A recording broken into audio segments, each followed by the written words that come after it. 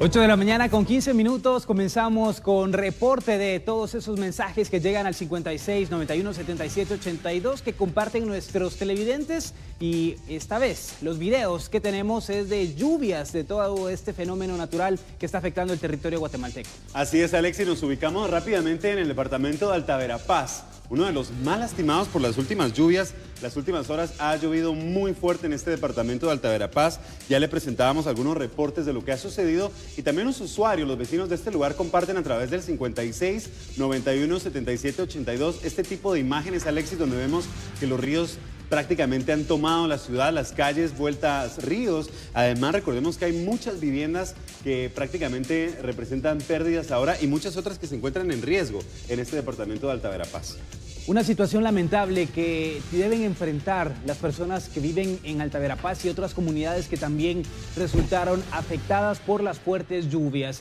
Vamos ahora hasta Huehuetenango. La carretera se partió prácticamente en dos. Ahí observamos cómo una parte de este tramo eh, fue mm, prácticamente por la fuerte lluvia, un deslave se produjo y también árboles y ramas quedaron en la orilla de la carretera. Las personas solo observan lo que un día fue la carretera que comunica este sector de Huehuetenango, pero este panorama lo hemos visto en múltiples ocasiones. Siempre que hay temporada de lluvias, las personas se ven afectadas por esta situación. Impactantes imágenes las que estamos observando. Esto es reportado desde la Mesía y vemos cómo el ejército y en ayuda también de vecinos, autoridades de Provial, de Conred, todos juntos tratando de limpiar acá la vía después de, después de derrumbes y también algunos socavamientos que se han pues presentado en este lugar. Justo en la imagen que veíamos a continuación de Huehuetenango, impresionante.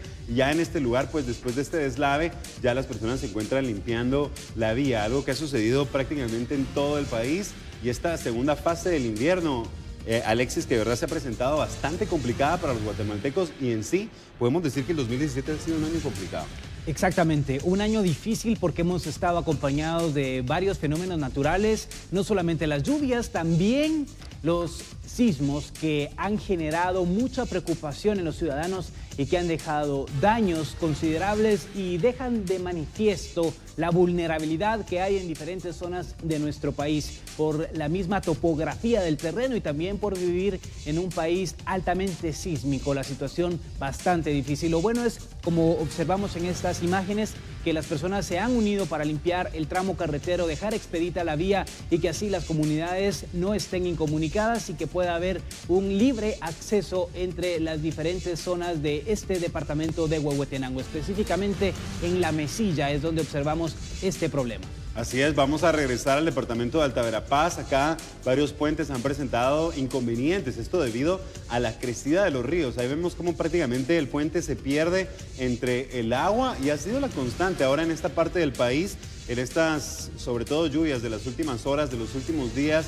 Por cierto, Alexis, amigos, el Insigume ya indicaba que la segunda parte del mes de septiembre puede ser aún más lluviosa y también se esperan fuertes lluvias para la primera quincena del mes de octubre. Así que estaremos atentos porque también estas fuertes lluvias pueden ser devastadoras para estas regiones del país. Ya lo decías tú también, la vulnerabilidad la que, a la que quedamos expuestos después de estas fuertes lluvias y hablando también un poco de lo que comentábamos, de cómo ha sido complicado para el país, para la región, estos días o este invierno 2017, pues también hablamos de los huracanes que han azotado el Caribe y los Estados Unidos. Nuevas, nuevos videos, Alexis, lo que hemos comentado, las calles vueltas correntadas de agua. Sí, esto es video impresionante desde la mesilla Huehuetenango una fuerte corriente de agua, los tragantes insuficientes para recibir la gran cantidad de lluvia y también este motociclista y las motos que están estacionadas en cualquier momento podrían ser arrastrados por esta corriente considerable que afecta a las calles de la Mesilla allá en Huehuetenango. Este vehículo también